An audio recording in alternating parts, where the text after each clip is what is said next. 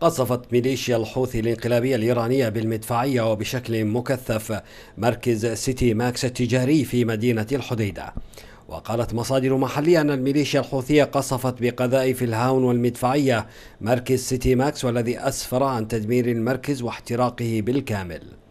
وأضافت المصادر أن المركز التجاري كان يحتوي على بضائع تجارية تقدر بمليارات الريالات. وكانت ميليشيات الحوثي قد استهدفت عددا من منازل المدنيين بقذائف الهاون وبشكل عشوائي في مديرية التحيتة. وسقطت القذائف على عدد من المنازل ما تسبب بتدميرها بشكل كلي وألحق أضرارا مختلفة بمنازل أخرى.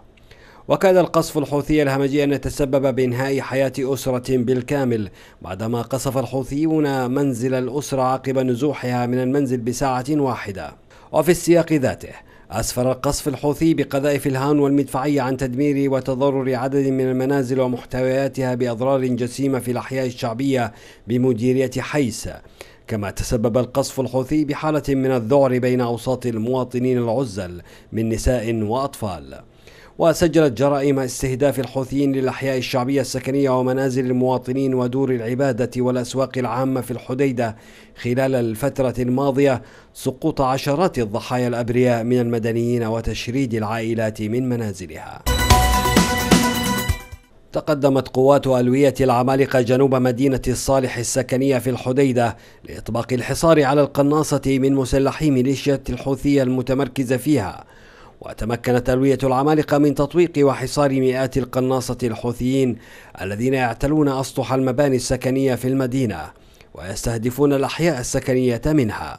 وواصلت ألوية العمالقة تقدمها من حي 7 يوليو باتجاه وسط المدينة لتحريرها وتطهيرها من سيطرة مسلحي ميليشيا الحوثي وتأمينها بعد طردهم منها.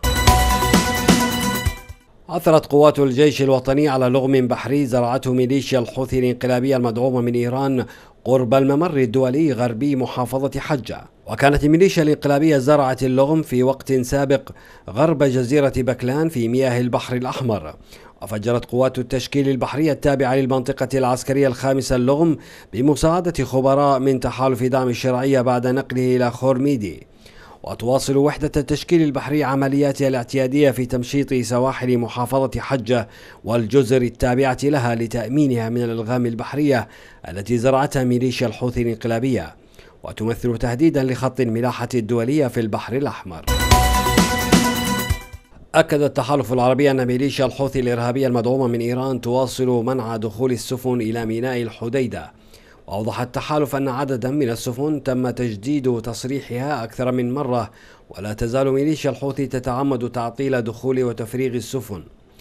وأضاف أن ميناء الحديدة ما زال خاليا من السفن منذ أسبوع وأن خمس سفن تنتظر الدخول لميناء الحديدة والصليف ومدة الانتظار تصل إلى شهر.